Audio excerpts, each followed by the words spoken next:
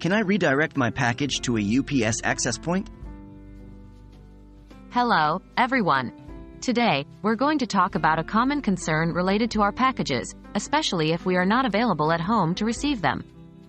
Our topic for the day is Can I redirect my package to a UPS access point? The short answer is Yes, you can. Now, let's delve into the step by step process. What is a UPS access point?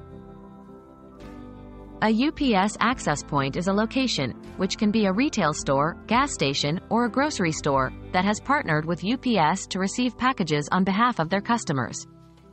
These access points are carefully selected by UPS for their proximity, extended operating hours, and reliability. They provide a convenient and easy way for you to collect your packages at a time and place that suits you. How do I redirect my package to a UPS access point? Redirecting your package to a UPS access point is pretty straightforward. 1. Create a UPS My Choice account. To begin with, you'll need to sign up for a free UPS My Choice account, which gives you more control over your deliveries. 2. Navigate to the tracking details. Once you're logged into your account, go to your dashboard and click on the specific package you want to redirect.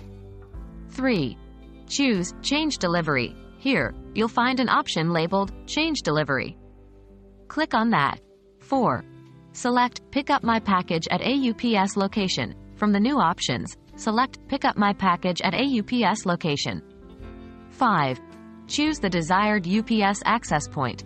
You can then choose from a list of available UPS access points. Once you've selected your preferred location, click Update to finalize the redirection. Remember, you'll generally be able to redirect your package until the day before the first delivery attempt. What are the limitations? While redirecting your package to a UPS access point is highly beneficial, there are a few caveats to keep in mind. Not all packages can be redirected.